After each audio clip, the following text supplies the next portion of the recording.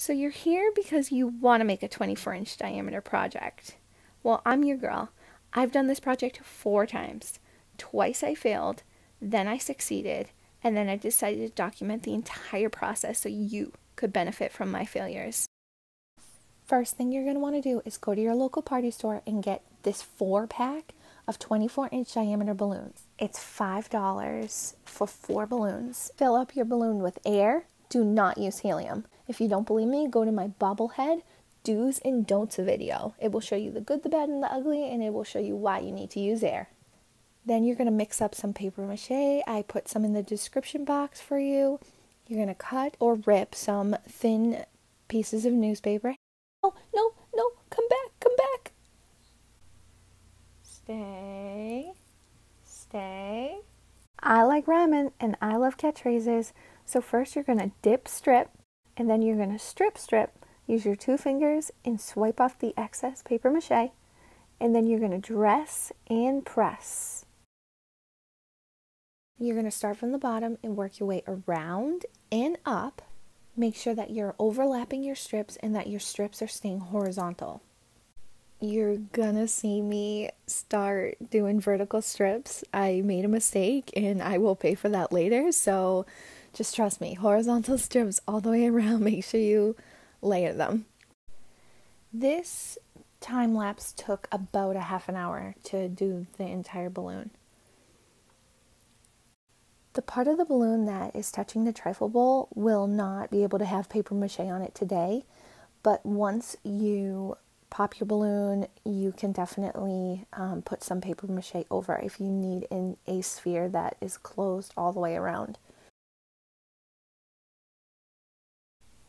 Put your project in a temperature controlled room away from the windows so it can dry. And I let my balloon dry for about 14 hours.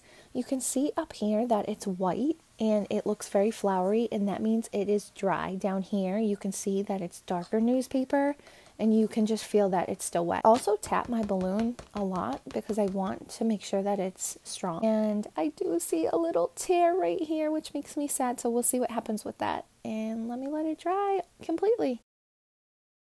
Boo! This has happened before. My rip was not this bad. I am not going to pop the balloon. Like I say in my do's and don'ts video, I'm going to try and fix this. When I woke up to this, I immediately painted a layer of Mod Podge to try and stop the rip and to strengthen my project. Now that it's dry, we can move on with our next step. Fingers crossed. Here we go with our second layer of paper mache and let's fix this stupid hole. With your second layer of paper mache, there is paper mache covering the entire sphere, so you don't have to start at the bottom, work your way around, and then up. And it worked! I'm so excited! So now I just need it to dry. So now I'm going to put a piece of tape on the balloon and I'm going to stick a pin through it and see if it will slowly leak.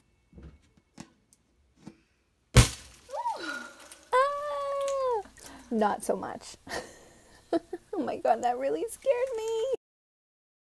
The second layer of paper mache came out beautiful. Now I'm going to paint on a layer of Mod Podge.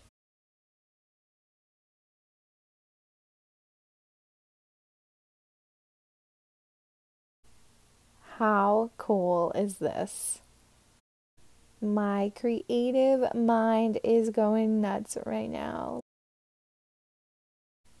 Let me know in the comments what you would make with this shape.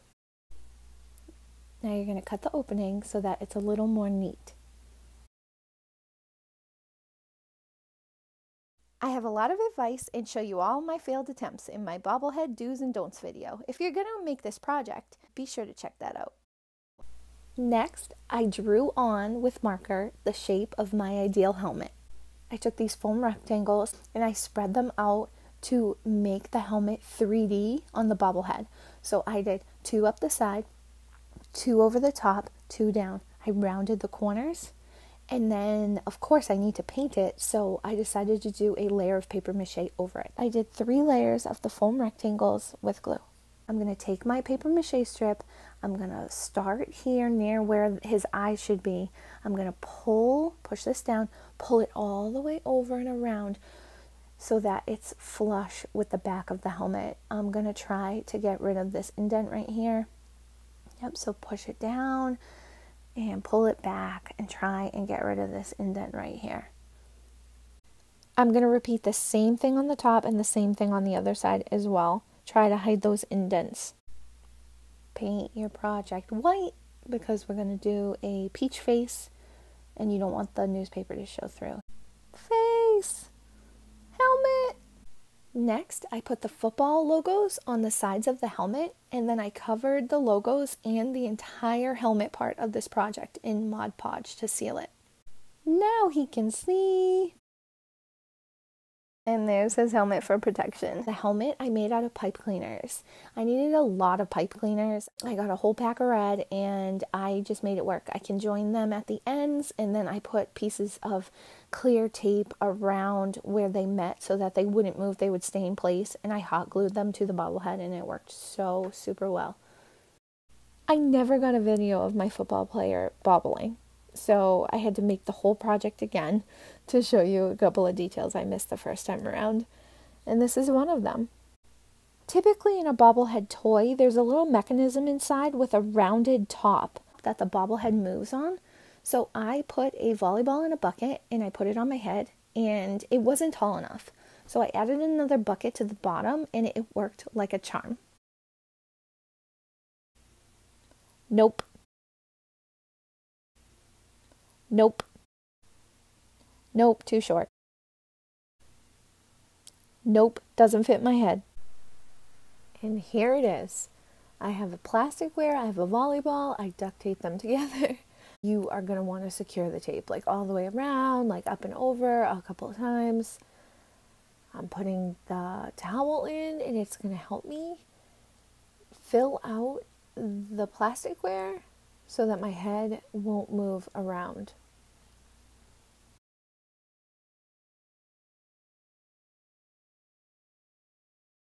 I usually have an assistant for this.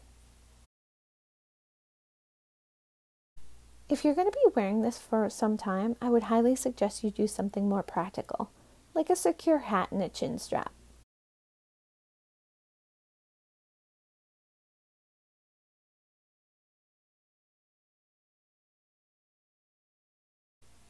I went through baskets, buckets, and plasticware, and I finally figured it out.